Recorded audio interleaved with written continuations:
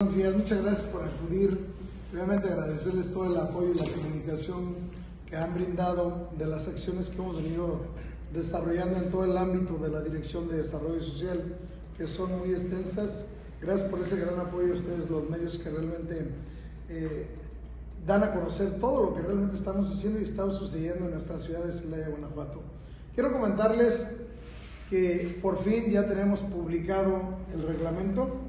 El reglamento se publicó en el periódico oficial el 17 de abril y entró en vigor el 18 de abril de este mes. Ahora ustedes recordarán que se llamaba Centro de Protección Animal o se llama Centro de, de eh, Control y Asistencia Animal, CCAA. Ahora sí lo vamos a conocer. Ese Centro de Control y Asistencia Animal.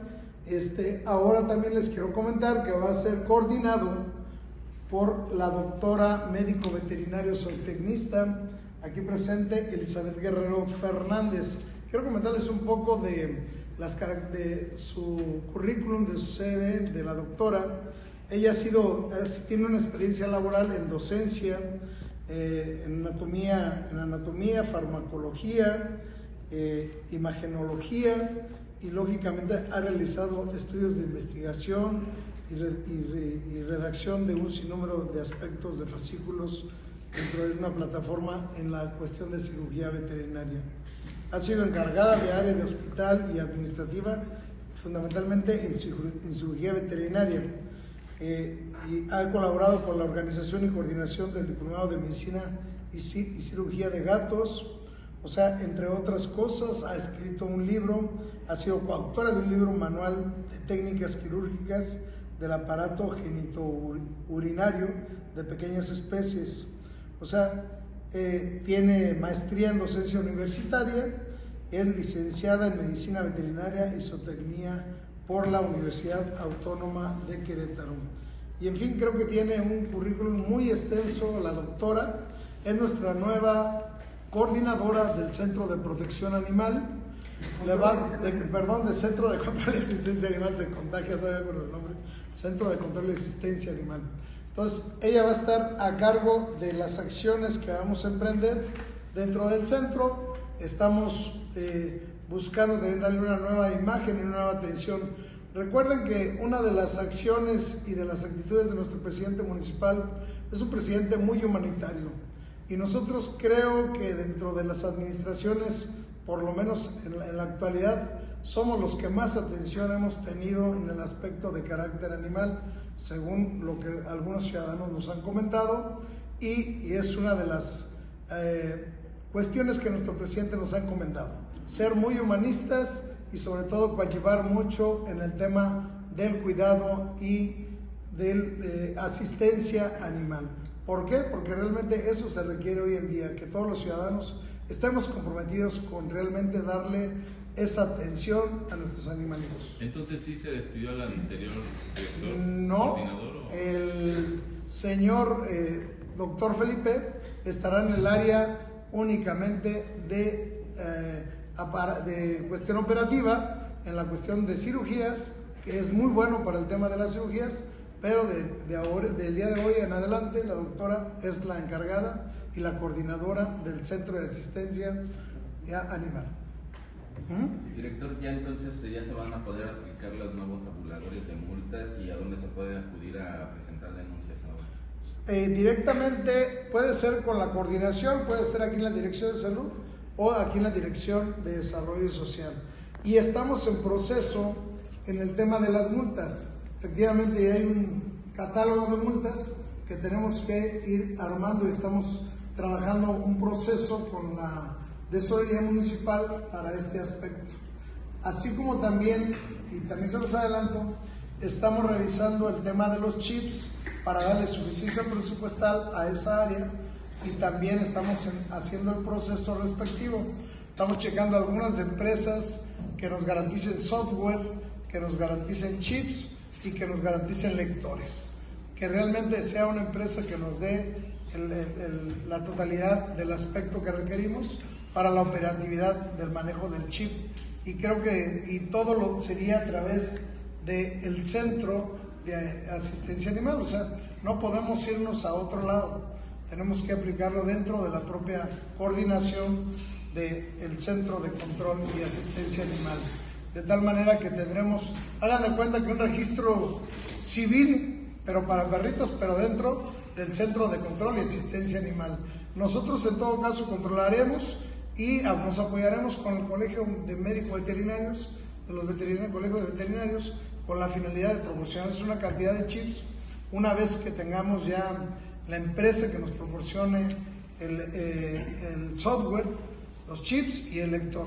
Y entonces estamos, pero estamos en un proceso para ello y les vamos a estar informando cómo vamos de avances en este tema, tanto de en las multas, estamos adaptándonos a lo que ya se ha venido trabajando y estamos revisando cómo lo manejan otras áreas para nosotros también darle el enfoque que requerimos darle y, y realmente con el carácter humanista y humanitario que requerimos darle en este centro de control y asistencia animal.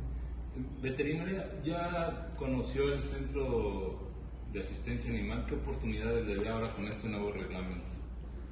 Sí, eh, pues estamos trabajando en hacer las adecuaciones, sí, ya lo conozco, y pues organizar, coordinar y pues, pues trabajar para nuestros animalitos.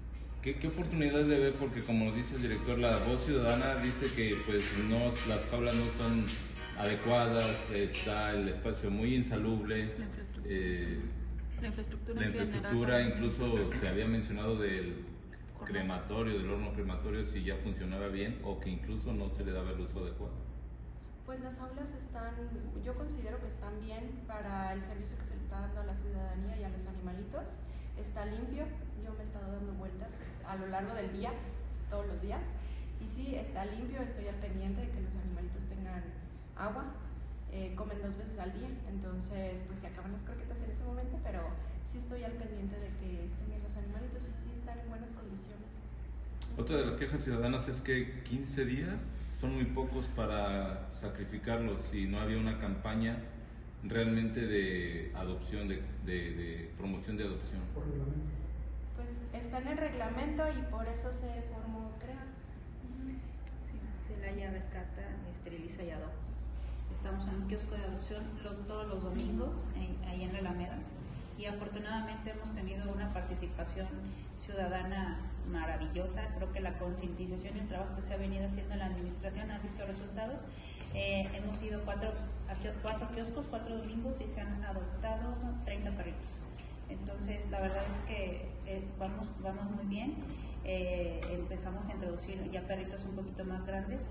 Evidentemente, empezamos con los cachorros para, para ahora sí ver la seguridad. Finalmente, pues son, son perritos que al estar en volumen, pues necesitamos los cuidados para evitar que, que se peleen, porque no los podemos tener encerrados. Están, los traemos paseando, los traemos promocionando y, y con las personas que se han ido son eh, familias que, que, que, ya nos gustan intencionalmente.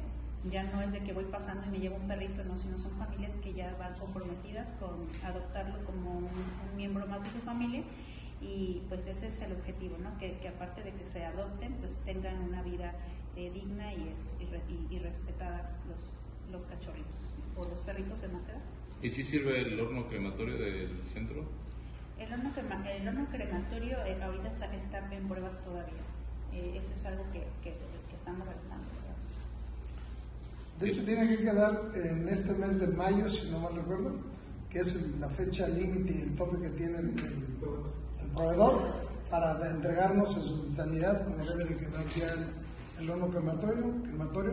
Sí se han estado haciendo pruebas, sí se han estado realizando acciones ya con él, pero hasta que no nos entreguen el mes de mayo, que es su fecha tope que tiene el proveedor, hasta ahí llegaremos con él. ¿Y, y, y por lo pronto dónde se han...? Se, no se han, realmente no se, no se ha llevado a cabo ningún, ningún perrito a la, a, la, a la, matanza. Recuerden que, si os los he comentado, una de las acciones que hemos buscado es no ir a no eutanasia y sobre todo ir, este, ese, el programa que creamos de CREA es rescatar, este, adoptar y esterilizar y estamos sacándolo adelante. Por ello, el tema de la adopción que les comentaba hace un momento la doctora o las doctoras es lo que estamos haciendo válido. Cada eh, grupo de animalitos que llevamos cada domingo, nos quedamos sin animalitos, ahí se van en la adopción. Ha sido un programa muy bueno y realmente eh, vemos y observamos que la gente y la ciudadanía está adoptando muy bien, valga la redundancia o el pleonasmo, este programa de Adopta. ¿Mm?